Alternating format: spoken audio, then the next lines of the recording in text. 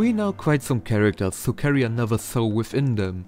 Be it Yugi Muto, who carries the soul of the ancient pharaoh Atem inside his Millennium Puzzle, Ryo Bakura, who has the Millennium Ring possessed by the soul of the ancient King of Thieves in combination with the manifestation of darkness Zorc, or Judai Yuki, who became one with Yubel after fusing himself together with them. But there's one special case of the trait with Marik. Yami Marik is not just another pre-existing soul or person that got connected to Marik or anything like that. But to explain that, we have to take a look at Marik's past.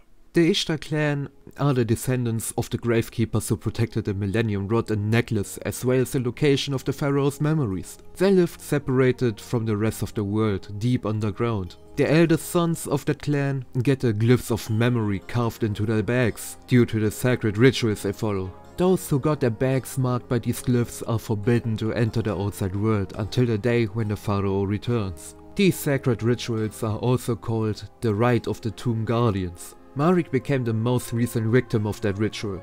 His father performed the rite and carved Marik's back with a glowing hot knife just when he turned 10 years old. Marik got filled with so much hatred, sadness and pain that all he wanted was to die. Yami Marik was born at that exact moment. In order to survive and to keep going, he had to separate himself from all that hatred and pain, which he turned into another personality within himself. Yami Marik is just a separated hatred that manifested as an evil being. Yami Marik wasn't able to manifest out of Marik for a long time because Rishid, better known as Odion, carved hieroglyphics onto his face to prove his loyalty to Marik, which sealed the hatred of him back inside. As long as Rishid is by his side, Yami Marik won't emerge because it keeps Marik into a calm and positive mood.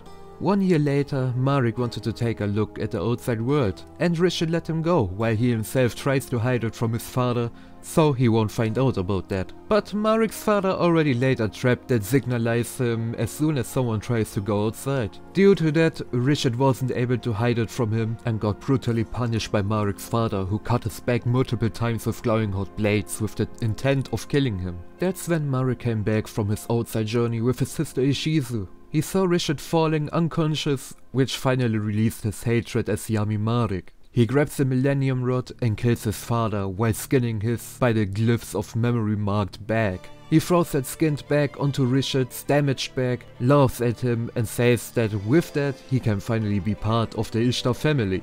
But Rishid woke up unexpectedly and sealed the manifested pain of Marik back inside. Marik didn't remember anything Yami Marik did and it wasn't until Battle City that he learned about the truth about what happened. Even though Yami Marik was sealed inside him, he was able to influence Marik so much that he took away his guilt, so he can do his crimes unhinged. But why would he want to do this? Well, mm, to make it easy, it's just because he wants to see the world burn.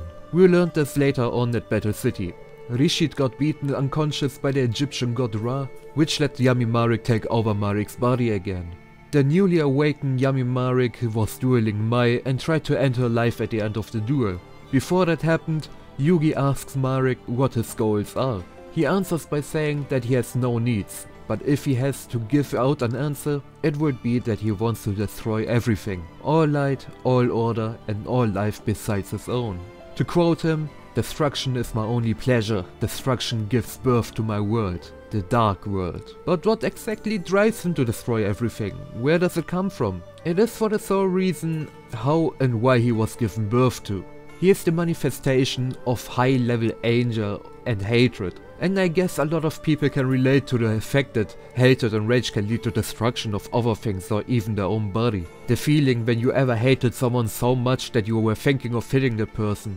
Or when you ever were so enraged that you hit yourself or threw anything around or something like that. Yami Marik is exactly that feeling personified. That reflects his enjoyment of destroying other people and the satisfaction of the pain he receives. But he also wants to make sure to stay alive. That possibly comes from the fact that Marik's will to survive was at the end what gave birth to Yami Marik. This is why he was so afraid of losing against Jonouchi, or Marik at the final battle against Yugi. That was also the point where his life ended. He was facing Yugi in the final battle of the tournament and he made it the ultimate shadow game, where your other personality will die when the life points are reaching zero. Marik and Yugi were able to overcome Yami Marik and make him switch places with his original self. With Yami Marik now being the sacrifice soul when Marik's life points reached zero, Marik made his move and gave up to finally completely remove his darker side from this world. Now we went through the birth, life and death of Yami Marik, but there's still one plot point about him that is pretty confusing. It is about the past thousand years. He talks about the past 1000 years on multiple occasions, saying that he waited for 1000 years to fight the pharaoh, or that Kaiba's memories are reaching back to 1000 years ago. My first thoughts about that were that the Ishtar family started guarding the Millennium items 1000 years ago, since they were just the descendants of the Gravekeepers, which says that they were not guarding it from the start. But that would not explain what he said to Kaiba, and to be honest, I can't tell what it could mean.